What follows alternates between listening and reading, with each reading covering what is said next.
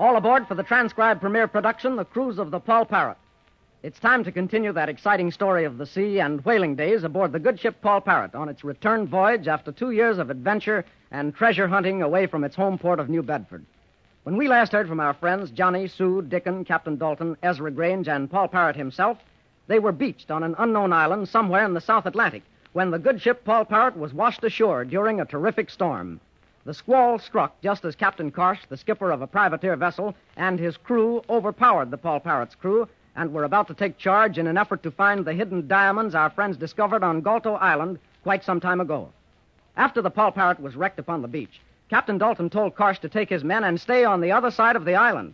Karsh demanded that his fiancée, Annabel Wilson, accompany him, but having just found out the true character of Karsh, she refuses.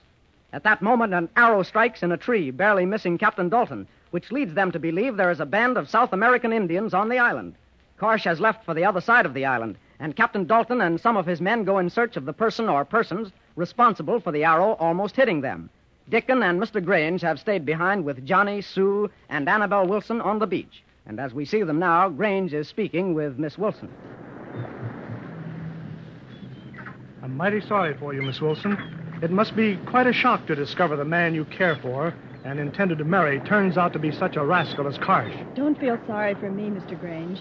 I consider myself very fortunate to find out all about him. If I'd married him, it would have been too late. Well, you're right there. But you're taking it mighty bravely. Well, after seeing how brave you and your Captain Dalton and little Johnny and Sue here are, I realize there's no other way to be. I shall try to be just as brave.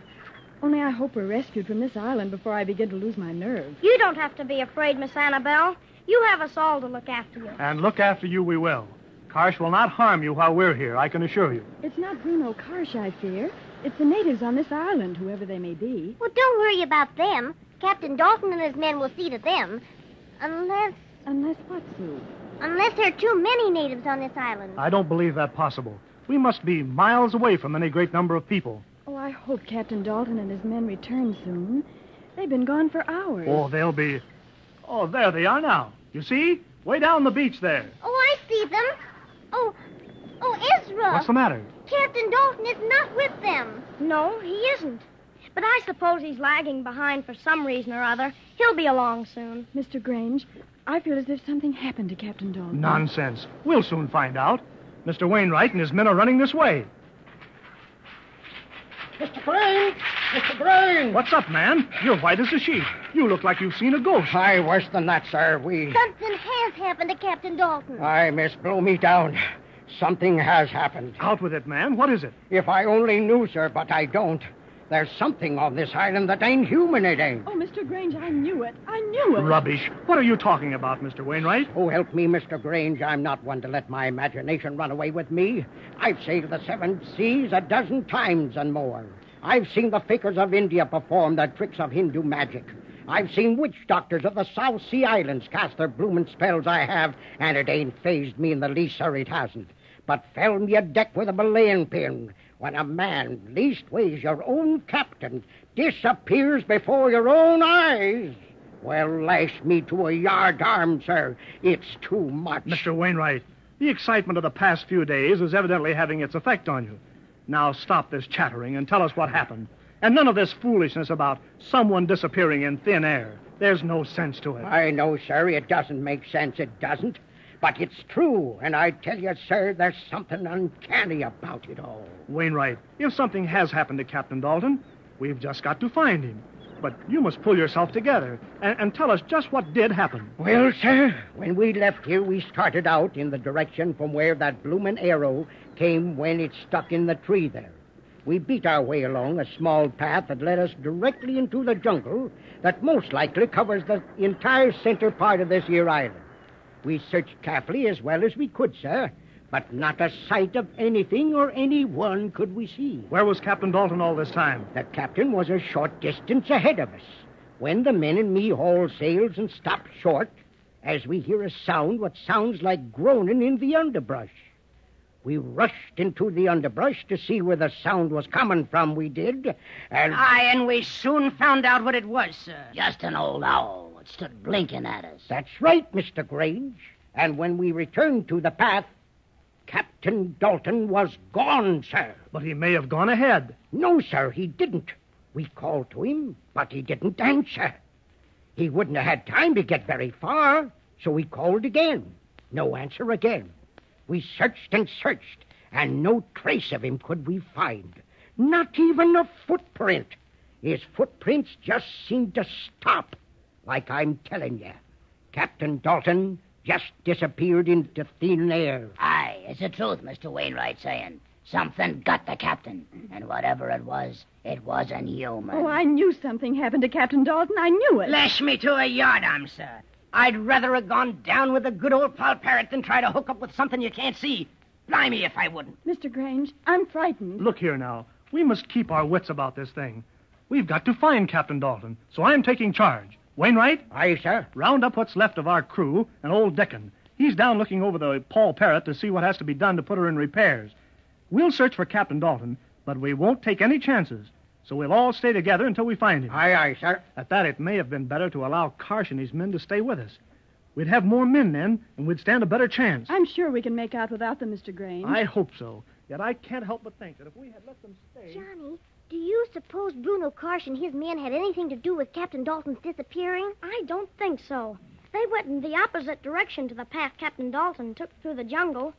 Still, I'm not so sure. I wouldn't put it past him.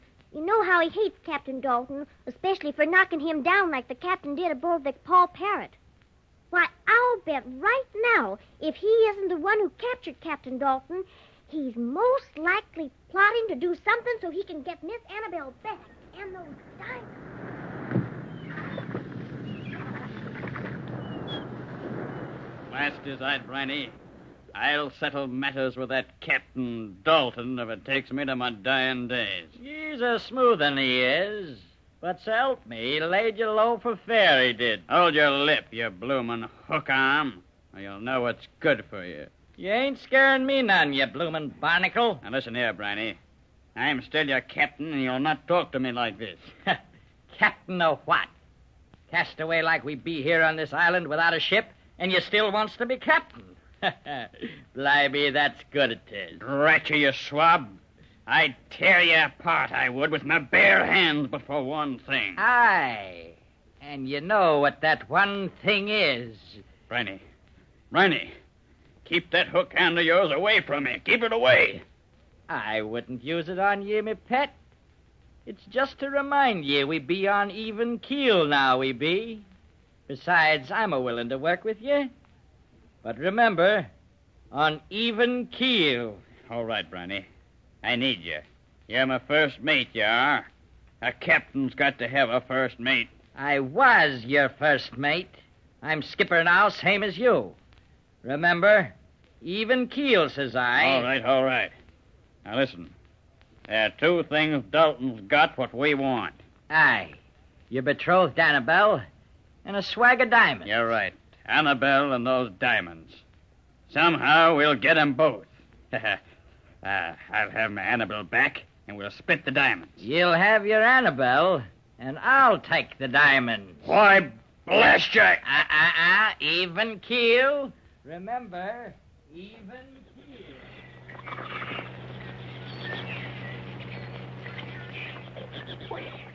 Oh, it seems like we've been walking for hours through this jungle, and still no sight of Captain Dalton. It seems like hours, Sue, but it hasn't been very long. Wainwright, how far are we from where Captain Dalton disappeared? Not far, sir. We're almost there now. If we don't find Captain Dalton, at least I hope we come to some kind of a clearing so we can pitch camp. From the looks of it, sir, I don't think there's a clearing for miles. Ah, clearing ahead, clearing ahead. Ah. Poll, you're as blind as a bat, you are.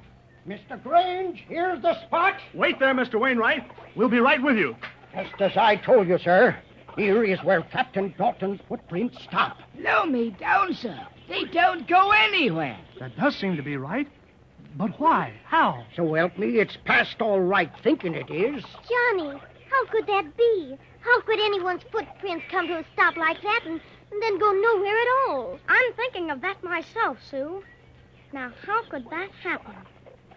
Wait a minute. What, Johnny? What's wrong, lad? Nothing's wrong. I think I've got the right answer. Johnny, what are you getting at? Mr. Grange, Captain Captain Dalton's footprints stop here, don't they? That's right. Mr. Wainwright says these are Captain Dalton's tracks. And if the tracks don't go ahead, and you see they haven't gone to either side, and then if he had retraced his steps, you could see the shoe prints going in the opposite direction, couldn't you? That's right. But what are you getting at, lad? There's only one other way he could go. Where, Johnny? Up. Straight up. Johnny, lad, you've hit it. You've hit it. Someone in that tree up there could have dropped a rope around Captain Dalton and pulled him up from the ground. Yes. And the way those vines hang from the trees, they could have swung from tree to tree without ever coming back down to the ground. That looks like the plausible answer, all right. Mutiny! Mutiny! Where did that arrow come from? From above in that tree. Oh, look! Good Lord. Savages! Ah!